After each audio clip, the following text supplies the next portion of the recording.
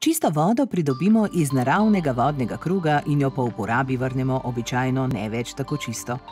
Vodovodne cevi in kanalizacija tečejo skozi mesta kot žile in arterije v telesu.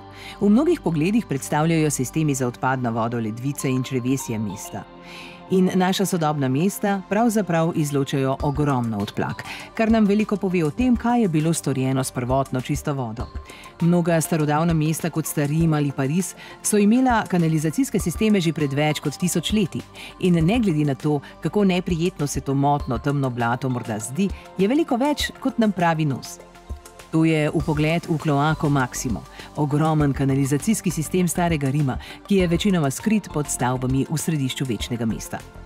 Arheologi so s preučevanjem ostankov tedanjih odplak izvedeli veliko o prehrani starih Rimljanov. Odpadne vode so neverjetno bogat vir informacij o javnem zdravju. Danes sodobni znanstveniki preučujejo odplake, da bi lahko zgodaj opozorili na bolezni, kot je COVID-19. Kako to deluje? Standardni podatki o širjenju COVID-19 v veliki meri temelijo na rezultatih kliničnih testiranj posameznikov.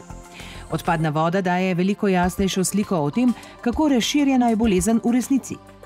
Veliko patogenov, vključno s SARS-CoV-2, se izloči z blatom in jih je mogoče zaznati v odpadni vodi v zelo, zelo nizkih količinah. Odpadna voda tako odraža vse, ki so okuženi in torej prenašajo virus, in ne samo ljudi, ki kažejo simptome okužbe s COVID-19. Zgodnji opozorilni signal je tako skrit v človeških iztrebkih, ki nosijo genetske sledi bolezni COVID-19 nekaj dni, preden se ta lahko pokaže v kliničnih testih. Vzorce oduzamemo v kanalizacijskem sistemu ali na utoku v čistilno napravo. Na to jih hitro prepeljemo v specializiran laboratorij, kjer jih obdelamo s testi, kot sta PCR ali sekvenciranje genov. Po statistični oceni količine in trendov virusnih obremenitev dobimo sliko o prisotnosti v mestu. Tudi v medicinski in znanstveni skupnosti je vedno več soglasja, da ponavljajoča testiranja posameznikov dosegajo svojo mejo zmogljivosti. Predstavljajte si, da testirate študentski dom, bolnišnico, ladjo za križarjenje ali mesto z več tisoč ljudmi vsak dan, vsakega od njih in v enem združenem vzorcu.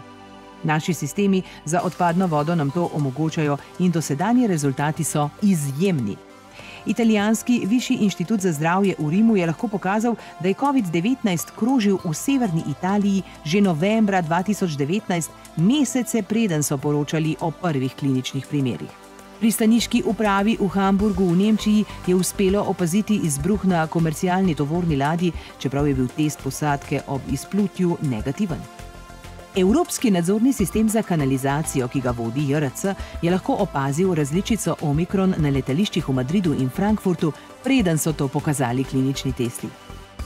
Področje epidemiologije odpadnih vod, spremljanje odplak za sledi bolezni, se uveljavlja kot kritično orodje za javno zdravje tudi po COVID-19 kot bi infrastruktura za odpadne vode in kanalizacija tvorili alternativni internet, ki kodira veliko več informacij, kot jih vemo.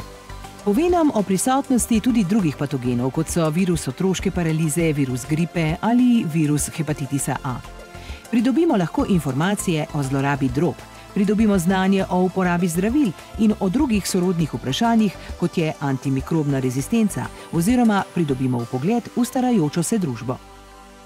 Čistilne naprave odplak lahko obravnavamo kot stražarje po celotnem ozemlju, ki nam sporočajo, kaj v resnici kroži med prebivalstvom. Morda ne izgleda lepo, a za raziskovalce je to zlato.